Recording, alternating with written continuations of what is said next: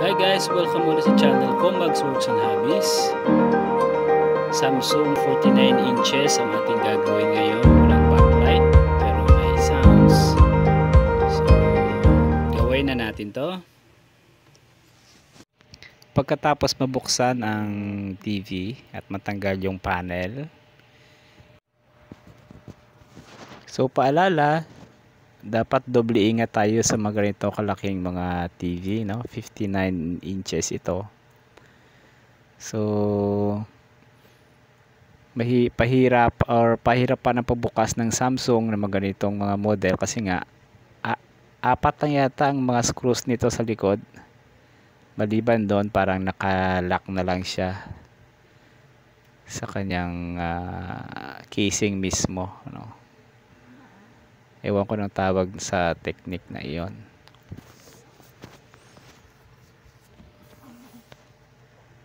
So doble ingat ako dito kasi yung kosto yung may-ari nasa likod ko.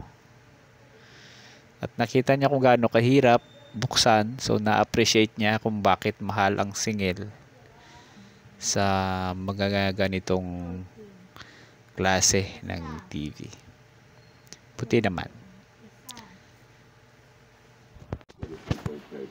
ito na yung pinakamagandang part ng pagbaklas ng panel assembly.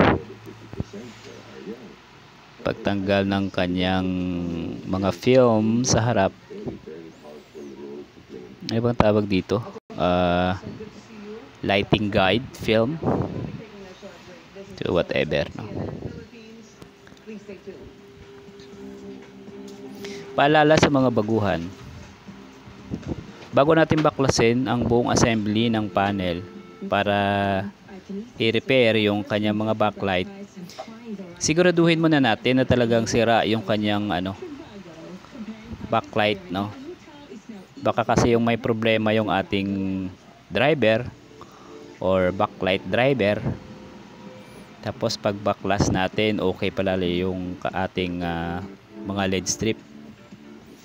So dapat uh, siguraduhin muna natin na talagang doon ang sira sa ating mga uh, LED LED strips no? So paano natin magagawa yon dapat meron tayong backlight tester. Kung wala pa tayong backlight tester at medyo hirap pa pwede naman tayong gumawa ng DIY tester para sa backlight mamaya makikita nyo kung ano yung aking itsura ng aking DIY backlight tester. Kung minsan ginagamit ko rin yon sa pag-test ng Zener diode. So posible gagawa ko ng video sa paggawa ng ganong DIY tester ko. Kailangan mo na siguro nating magpaalam sa author ng uh, project na yon no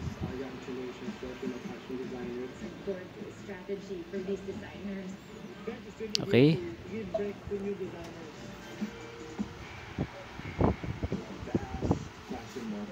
Ito yun yung pinakamagandang part. I-test na natin yung mga LED strip. So test natin. Makikita nyo yung aking DIY tester. Wala. Pangalawang strip meron. Pangatlo meron. Kompleto. Pang-apat kompleto. Yung first strip ang may problema, hindi umiilaw. So tanggalin natin, no. So makikita nyo yung ano kahalagahan ng ano ng bawat uh, LED strip or LED beads, no. Pag nagka-problema yung isang LED bead, apektado lahat. Kasi nga naka-series siya. Yun ang problema sa series kasi pag may namatay lang na isang ilaw. Apektado lahat. So hanapin natin yon kung saan kung ilan ang punde. Isa, dalawa. Usually sa ating karanasan ang napupundi isa, dalawa. Lalo na sa mga branded. Isa, dalawa. Yung apat marami na yon So, May-ari. Yan, yan yung owner no ng TV. Talagang doble ingat kasi nandyan si Sir. Tinest natin isa-isa yung bawat uh, LED beads no. Yung sa badang huli hindi umilaw yan yung mapapansin nyo. So wala na siyang diffuser. Since wala na yung diffuser, tinest natin yung ilaw sa badang huli. Umilaw siya, no? Yung LED bead na yan. Ito yung fuse. Yun pala yung open, kaya hindi makalusot yung negative uh, uh, line. Ito naman yung stabilizer ng bawat uh, LED bead, no? So, sira yung fuse. Try nating i-jump. Pagkatapos ma-fix yung fuse na yon, uh, ginamitan na lang natin ng soldering LED tsaka hininang yung fuse na yon para magkaroon ulit ng linya. So ibalik na natin ang uh, strip na ito.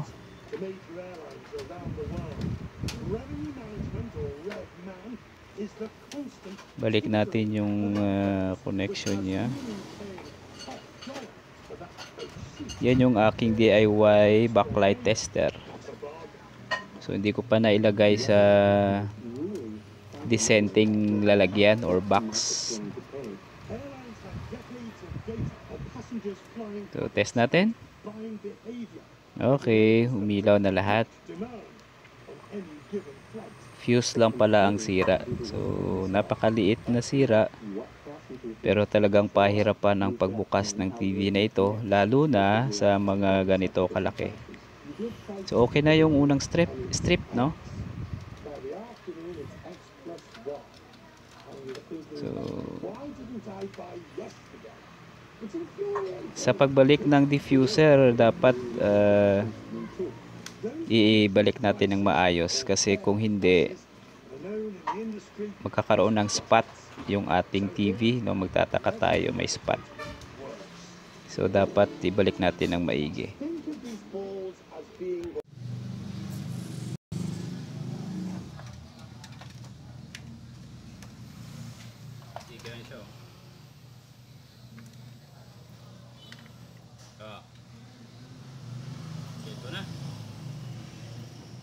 Na.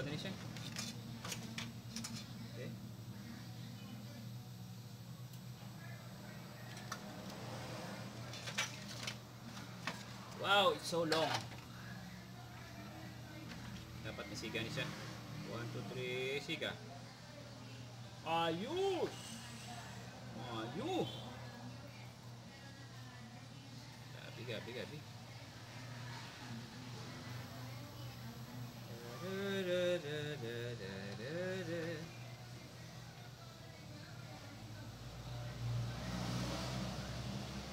Eh, okay siya. Balik man ta. Ibalik na to ng diffuser nyo. Hello there. Ah, diffuser na lang.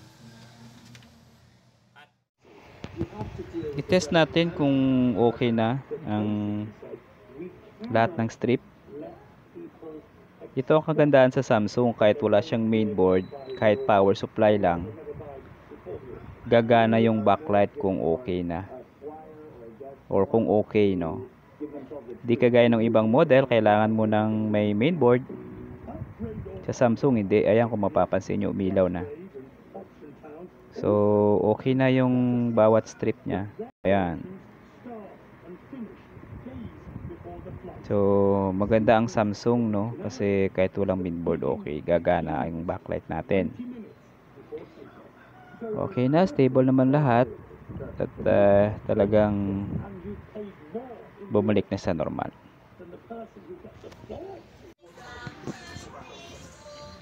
Pagkatapos maibalik yung assembly ng panel, balik na natin yung mga board. Connect natin yung connection between mainboard and power supply. Antena. Tsaka yung kanyang AC cord. Plug natin. Ito yung pinaka ano, suspense na part no. Pag binaklas natin yung buong panel, balik natin. Pag silip mo ganun, may crack. Naku po! Pero kaya dapat doble ingat tayo no sa mga beginners. Ingat. Kung mapapansin nyo, okay na yung TV. Pumalik na yung kanyang backlight. So nag voice over na lang ako kasi nung time na yan napakaingay nung shop So, shout out sa aking katabi na shop na pag nag uh, nakikinig ng AM radio, buong barangay ang nakikinig, no? Sobrang lakas. So, wala kayong maririnig kundi mga advertisements sa AM radio. Napakaingay. So tuwang-tuwa ang may-ari, no? Kasi okay na yung TV niya. So sana may natutunan kayo sa mga beginners, sa mga kapwa nating technician. At uh, sa mga di pa nakapag-subscribe, pakisuyong mag-subscribe tayo. Paki-tap na rin ang bell na sign para ma-notify kayo sa mga videos na i-upload ko. Hanggang sa muli, maraming salamat.